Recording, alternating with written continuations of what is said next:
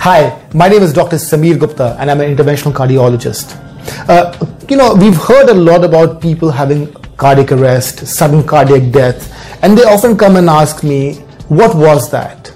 Well, we have to understand that a cardiac arrest is something different from a heart attack.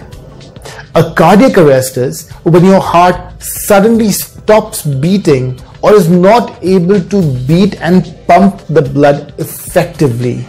So normally your heart beats like this, right?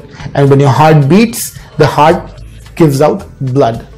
Now, if your heart is not able to beat effectively or is not able to pump effectively, then the heart will not be able to give the body the oxygen it requires. And it happens all of a sudden. A cardiac arrest happens all of a sudden.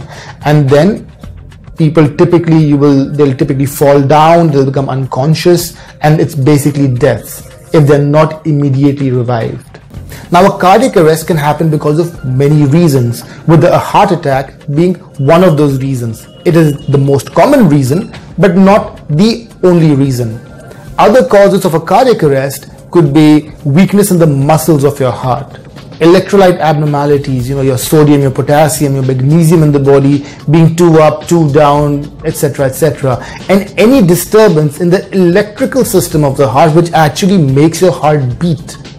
Any of these problems can cause a cardiac arrest, and a cardiac arrest is different from a heart attack.